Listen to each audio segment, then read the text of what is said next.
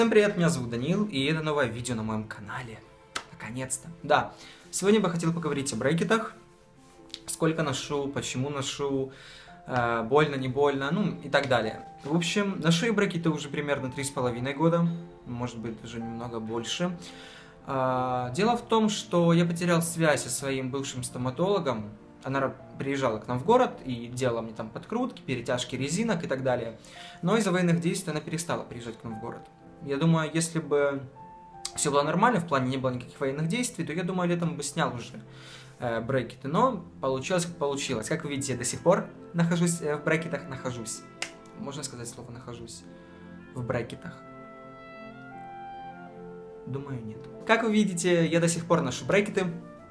Я не могу сказать, что они там какой-то дискомфорт мне доставляют или еще что-то. Нет, абсолютно, я уже к ним привык, я даже не очень хочу их снимать. Но смотря с другой стороны, я уже на самом деле очень хочу их снять, потому что это портит зубы. Потому что тот клей, на котором они держатся, он портит зубы. И я боюсь того момента, когда мне их снимут, а у меня либо будут зубы все в кариесе, либо в каких-то белых пятнах. И все получается, придется опять лечить зубы или как-то отбеливать их, чтобы не было этих пятен видно. Я не знаю, я этого очень не хочу. А так, я, наверное, не хочу их снимать. Ну как, я к ним просто привык. Я надеюсь, вы поняли мою логику. Обязательно нужно сначала обследоваться у стоматолога, чтобы тебе э, вылечили кариесы, камни, там не знаю что еще. Потому что на больные зубы брекеты не поставят. Да, мне запломбировали 4 зуба перед брекетами и поставили коронку, потому что у меня один зуб просто в ничто ушел, э, мне его наращивали, но э, когда мне начали ставить брекеты, мне сказали, что вот эта субстанция, из которой наращивают зубы, как бы формирует новый зуб, э, он не выдержит. И мне поставили, не помню, как она называется, пластиковую, короче, обычную коронку, она у меня где-то здесь сзади. И да, то есть с больными зубами вам брекеты не сделают. Что насчет болевых ощущений, как я уже говорил ранее? А, клеить брекеты совсем не больно, то есть ты ложишься, тебе в рот одевают такой расширитель, чтобы было видно все зубы. Тебе их сначала там промывают немножко водой, а потом начинают клеить. Клеится брекет так, на какую-то ватную палочку вроде, выдавливается раствор, и его мажут на зубы. И потом на то, что намазали, приклеивают брекет и под ультрафиолетовую лампу. И так со всеми зубами. То есть брекеты примерно клеятся минут 40, 45, да, примерно. Что насчет именно боли? Не в том плане, что когда их ставят, а именно после того, как поставили первая ночь. Да, зубы будут болеть, и поначалу будет чувствоваться некое, некое, не знаю, давление, или то, что зубы сжаты, и как бы, не знаю, как это описать чувство. И часа через два или даже полтора часа у меня уже начали болеть зубы. Причем они начали очень болеть. И как бы ни странно сейчас это прозвучало, вот не знаю, у кого хотите спросить, кто носил брекеты, э, все согласятся со мной, что зубы как-то чешутся. Вот я не знаю, как это описать. Просто такое чувство, что они чешутся, когда, ну, то есть, когда не сжимаешь челюсть, когда сжимаешь челюсть, ты вообще можешь умереть от боли. Да, и они очень, и очень странно это чувство. Вот они как будто зудят, их хочется почесать, но на самом деле они очень болят. Э, первые, наверное, два дня, как я уже говорил, я пил таблетки обезболивающие. Э, естественно, я практически ничего не мог есть, потому что я даже не мог откусить, э, не знаю, свежий хлеб, скажем так, мягкий свежий хлеб. Да, потом примерно через неделю, может через дней 11, боль стухает, и ты начинаешь уже привыкать к брекетам, к тому, что что-то уже новое в твоем рту.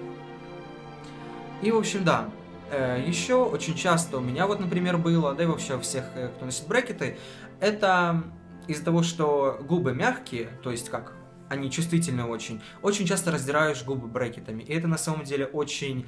Э, это на самом деле очень неприятно, доставляет много болевых ощущений, потому что в основном все эти небольшие царапинки или порезы, они превращаются в стоматиты именно обычно царапины напротив брекета. То есть ты можешь, э, мог там лежать спать, и случайно оно поцарапало тебе губу. И то есть стоматит на этом же месте, где и брекет, то есть постоянно трется. Вы поняли меня, да? Это реально очень неприятное ощущение, потому что сам по себе стоматит постоянно что-то там ноет, болит, подщипивает, а его еще друт. Да, меня предупреждала об этом стоматолог и дала мне специальный воск. То есть э, была такая пластиночка тоненькая, и ты отламывал себе сколько нужно и клеил на этот брекет. То есть или на то место, где стоматит. На зубы. Не на губы. М-м. Эту рану ни брекеты, ни зубы не тревожили. Был ну, ровный как бы бугорок такой. И он постоянно как бы терся. И я не знаю, есть ли какое-то целебное свойство у этого э, воска. Но у меня после ношения этого воска за 2-3 дня стоматит просто зарастал. И все. Его не было. И когда у меня заканчивался воск, я специально бежал в стоматологию и просил еще воск. Потому что он меня очень выручал. Поэтому да, всегда просите воск, потому что он вас будет очень выручать. Что касается ухода, то мне э, сказали купить специальную щетку с небольшими, ну, удлиненными щетинками, я надеюсь, вы поняли, и ёршики. Но мне сказали, ну, я это называю ёршики, на самом деле это я могу прикрепить тут картинку. Ну, на вид это обычная зубная щетка, но там, где щетинки, там накручена такая проволока, и из нее торчат щетинки. То есть она такая, как длинная такая. Эти ёршики нужны для того, чтобы вычищать то, что находится между пластиной, то есть зубы вычищать в э, промежутках, потому что так просто как мне сказали, не вычистишь зубы, но после того, как я пару раз ими попользовался, они у меня все рассыпались, я купил себе просто другую щетку, которая была с длинными щетинками, и я ей стараюсь вычищать зубы. Когда мы покупали щетку, мне сказал стоматолог, что ну так чистить зубы нельзя, то есть вверх-вниз, нужно обязательно вот так, горизонтально потому что ты так не почистишь зубы, и есть возможность того, что ты оторвешь брекет. После того, как я пару раз использовал ёршики, они у меня рассыпались, и я решил, что я ими не буду пользоваться, и буду пользоваться только щеткой с длинными щетинками. И на самом деле разницы особо нет, и просто, ну да, может я просто дольше чищу зубы обычного, э, но результат такой же. Вот и подошло к концу мое видео, я надеюсь, оно понравилось, оно было информативным, и оно ответило на некоторые ваши вопросы. Поэтому ставьте лайки, подписывайтесь на мой канал, пишите комменты, спрашивайте вопросы, ретвите это видео и так далее. Все. Пока.